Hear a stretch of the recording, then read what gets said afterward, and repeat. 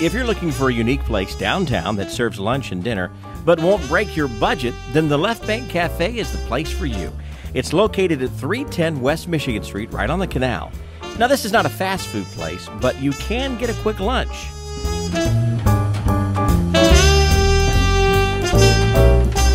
Chef Jody talks about some of his customers' favorites, and his favorite too. Uh, my favorite is the chicken mushroom spinach crepe. Uh, I think you guys tried that at the radio station. That's by far my best seller.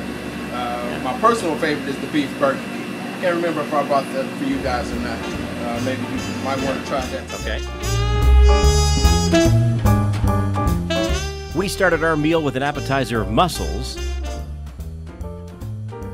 Then for lunch, a grilled portobello panini, the deconstructed chicken salad, and Chef Jody's favorite, beef burgundy crepe.